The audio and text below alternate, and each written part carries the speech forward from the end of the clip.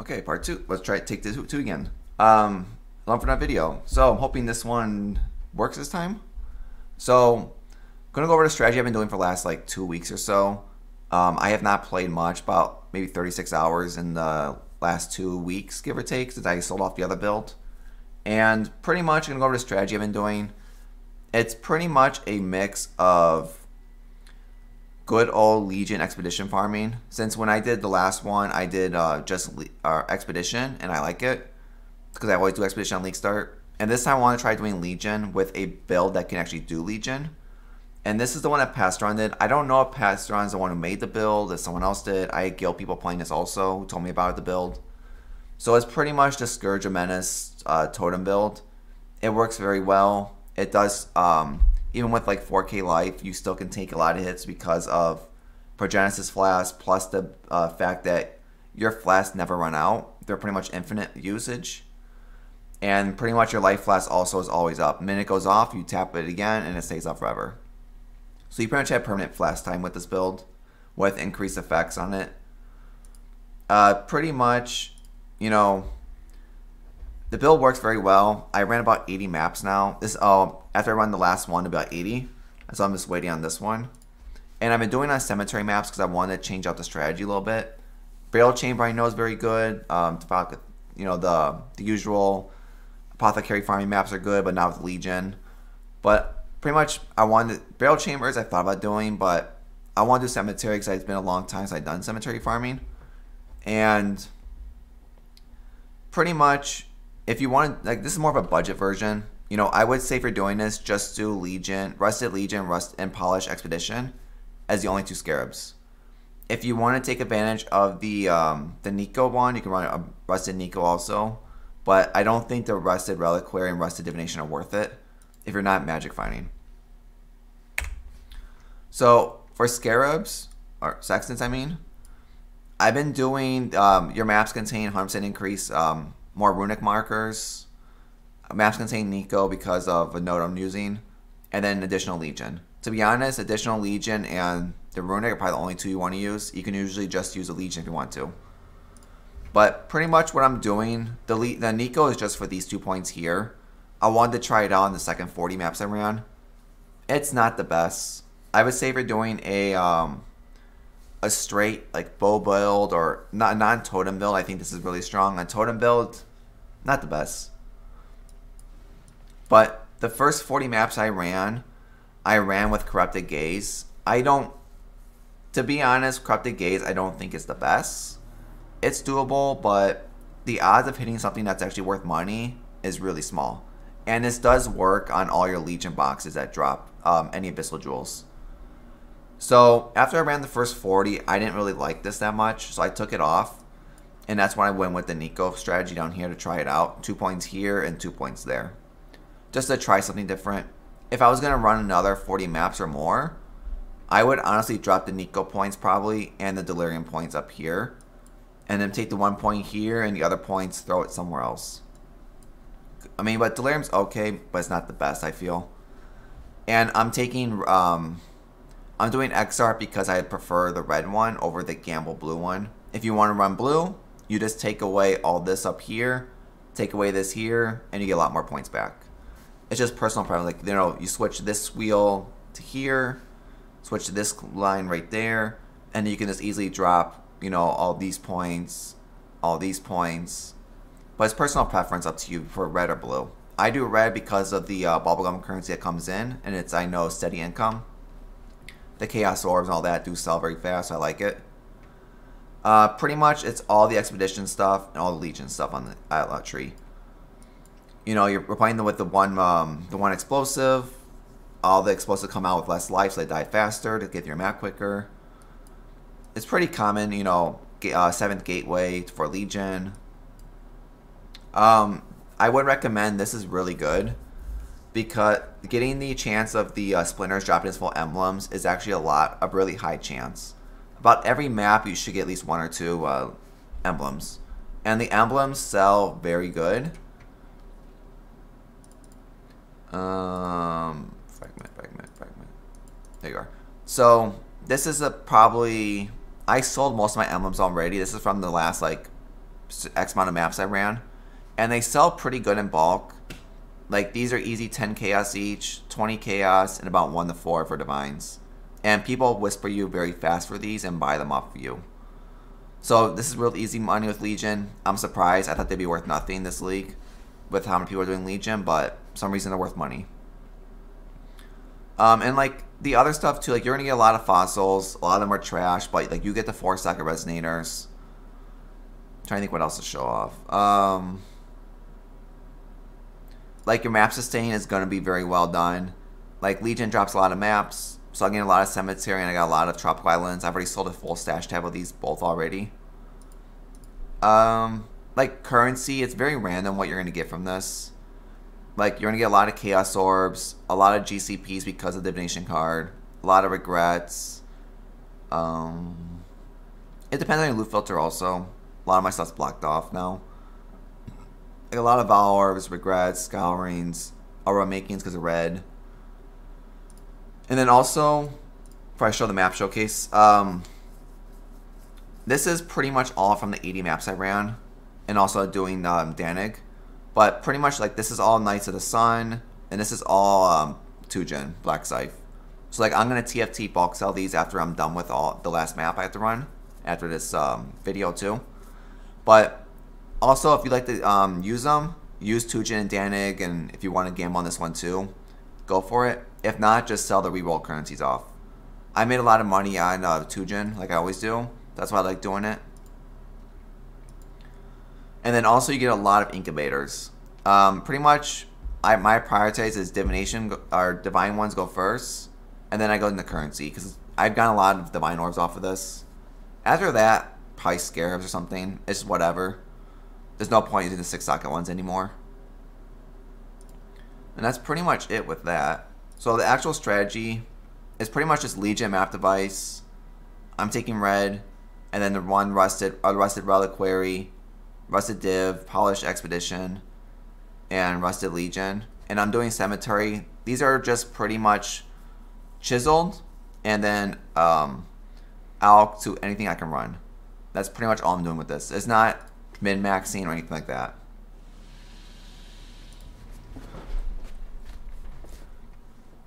And there's pretty much no strategy. Is pretty much like a, a whatever. Like if I get the um, the mirror, I'll hit the mirror. Don't get it, you don't get it. But pretty much your flash, I hit them all, and that's pretty much uptime permanent. Um, so in here, I know about the triangle strategy, but I'm not that good at it, and I just go with whatever. So this is probably the middle I'm in right now. And I still have not seen the trio boss for some reason.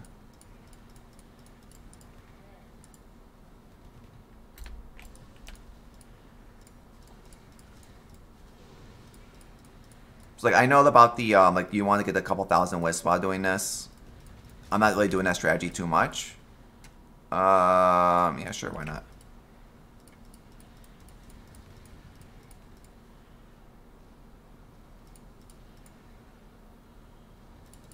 But yeah, I don't have a strategy when it comes to doing this. Like, I know you can make a lot more money if you do it the correct way.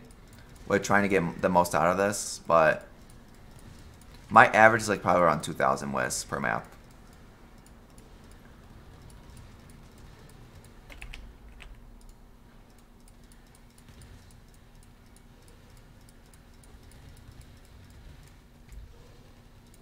So we're at the top. Oh, we failed.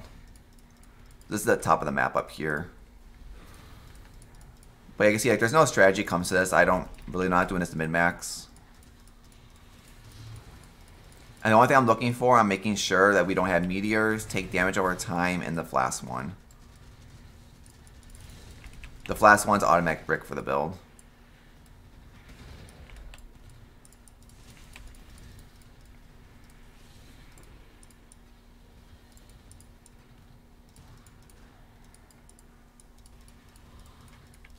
Then when it comes to Gwen, I'm pretty much just coming here, throw it down, checking to make sure I don't see Chaos, and I just hit it. I'm not min-maxing these whatsoever. And I think I've gotten a lot of logbooks by doing this too.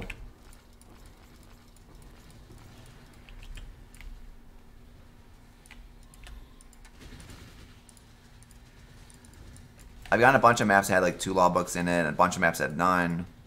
So it's pretty much just random. Like, I personally think doing the other way is better, where you have like four, five or six explosives, but it takes longer to run them all.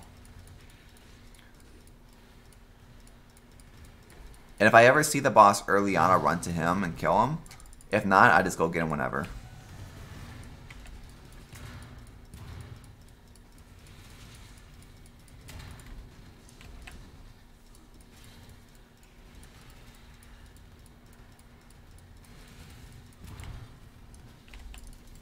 We found the boss already, so we're gonna kill him after this.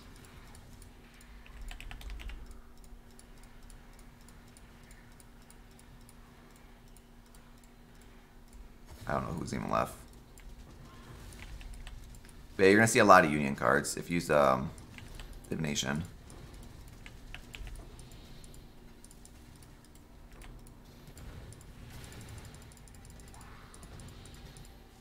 And probably the most useless um, mob. So we kill the boss real fast so we don't get any altars for him.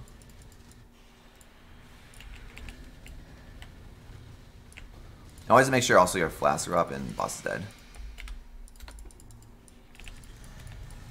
So yeah, I don't pretty much have a strategy. Like this is pretty much all I do. I just run around. I know you can definitely min-max this a whole lot better.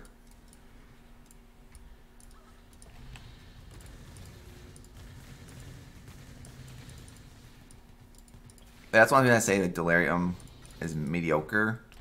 Because you're not to get much Jelly Orbs out of this.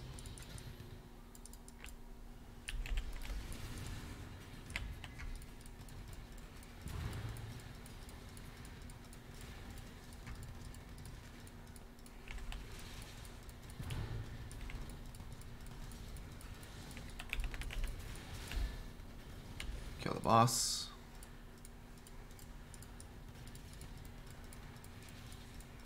I just loot on the way because I'm just too lazy to come back and get it. So without Headhunter, if you had Hunter on, then yeah, it's a little different strategy you gotta do, but without it, you just do whatever.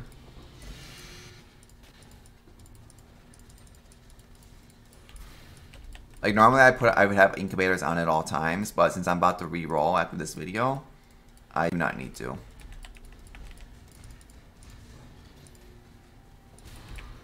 Like there's a, there's one emblem right there. That's 20 chaos.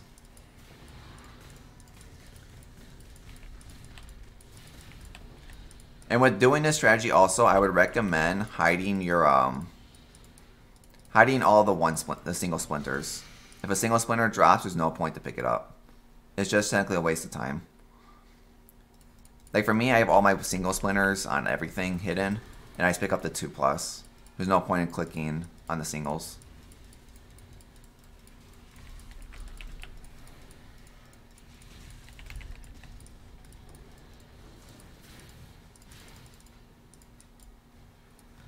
Um, it doesn't matter. Like if there wasn't that flask one, then I wouldn't uh, read them as often. But I break too many maps because of the flask one.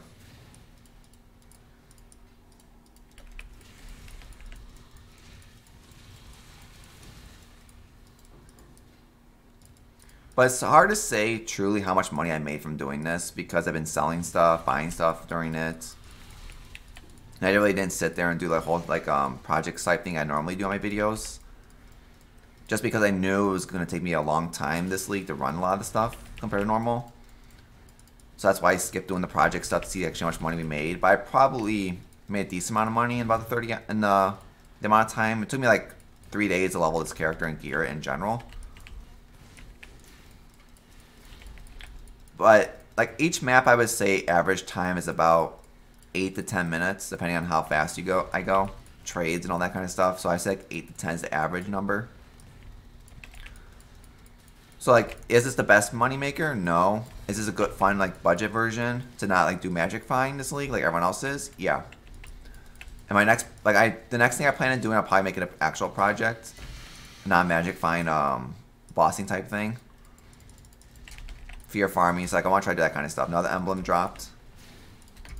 Sadly, it's both two shitty emblems. But yeah, the maps take a long time also be mainly because of Legion. Not a Legion.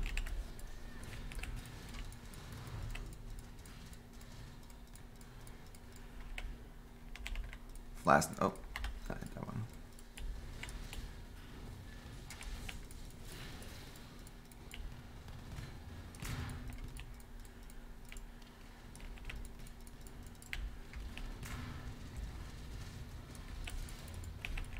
No, we're dead. Poison, probably.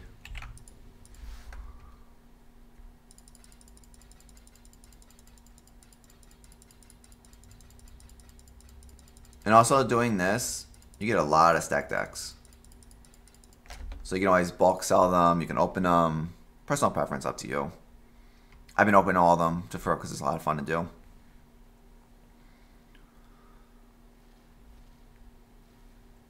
Actually, we're done with the map almost. Let me just go. Let's go movement speed now.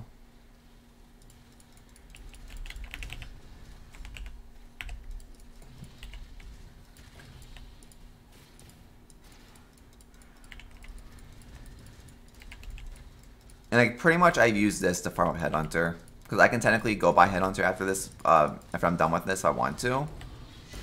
But I'm probably going to go buy Mageblood instead. Because the next build I think works better with Mageblood. Because I want to do some fear farming. And Headhunter is not a fear belt.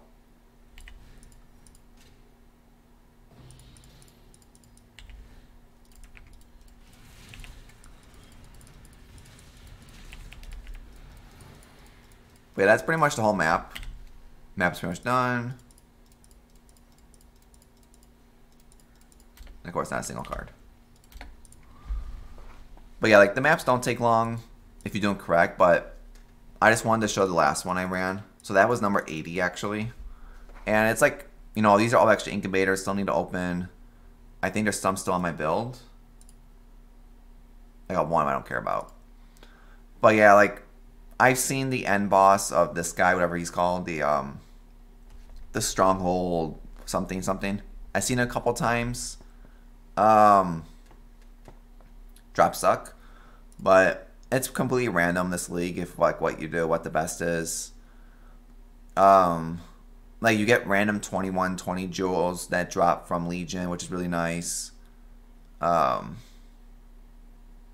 a lot of fracture bases from Legion. So like Legion overall, I know is a, I would say is an extremely good moneymaker. Probably one of the top ones in the game. If you want to make good money, just do budget Legion farming. You'll get you run 40 maps of Legion farming, taking Legion map device, Legion's uh, Scarab, Legion Sextant. You'll make so much money back. You'll be swimming in money. But like, so what I'm gonna do now is open all these up, sell everything off. Uh, probably I might go on TFT and just bulk sell all my tabs off and then from there figure out what I want to do. But I think bossing is going to be the next thing I go with. But that's pretty much it. I just want to show the strategy I've been doing for the last like two weeks now. But I'm going to sell this off. I'm to, I'll make a build guide about the build I'm playing. You know, Pastron has the build guide already up. But I'll make one for real fast for this build. And then I'm going to dump the build and then we'll move on to the next one. And I'm hoping I get videos out a little bit more than once every two weeks. I just been really busy with work. And I had almost no time. I have like an hour a day to play right now. But we'll see where it goes. But hope you liked the video. Hope to see everyone on the next one. Goodbye, everyone.